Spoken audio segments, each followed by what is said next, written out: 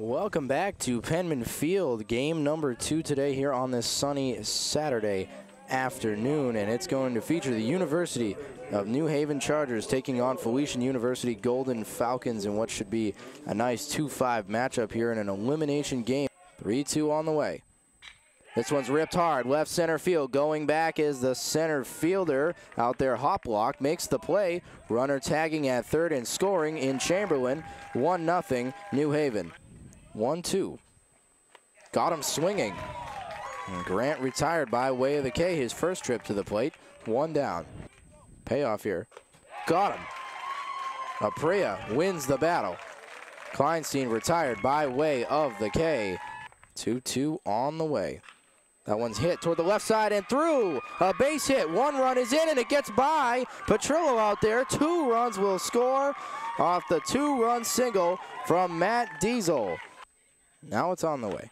This one's hit pretty well. Out toward deep left field. Going back at the wall. It's going to get by Petrillo. All the way to the wall. This will easily score the run. Price trots his way into second with an RBI double. Brennan Price, the DH, coming through in the clutch here. All of this with two outs. And now a 3-1 Golden Falcon lead.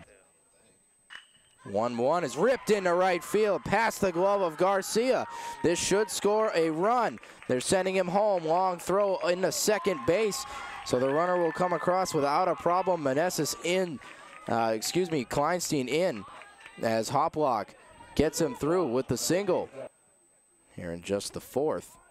Bunt attempt here. Squeeze play to bring him home. The ball was fair and he's safe at first. Strickland scores. Cacavalli safe at first. That one's ripped into the left center gap. That will get down, and it's going to go all the way to the wall. Run scores easily. Stand up double for Kleinstein. This Polgano could just trot his way home. Garcia pops this one up. Could do it if it stays in the yard. Will in foul territory. Catch is made by Polgano.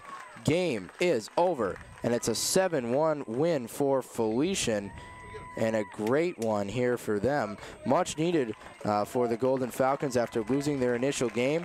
So that means that the New Haven Chargers have been eliminated.